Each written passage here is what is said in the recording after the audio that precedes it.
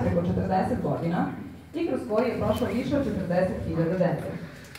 Neki od te dece postali su proslavljeni jasovi naše košarke, kao što su Bratislav Bata Đorđević, Mihajlo Miki Pavićević, Ratko Joksić, Božidar Maljković, Borislav Đaković, Slobodan Piva Ivković, Predrag Vučićević Preva, Vlada Paranosić, Borislav Ćorković Reba, Borislav Cenić, Dimčaj Kopilanski, Slobodan Janković, kao i druge generacije uspešnih košarkaških magova, poput Aleksandra Saše Đorđevića, Predraga Saše Danilovića, Dejana Podjelova i tako dalje. Hvala vam.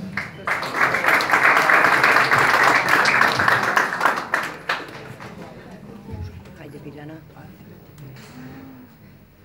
Ja bih najpre da pozdravim sve prisutne i da se zahvalim od srca najpre Sportnetu koji je ovo nešto što ja radim jako dugo prepoznao i naravno mislio da moj rad zaslužuje ovakvu vrstu priznanja.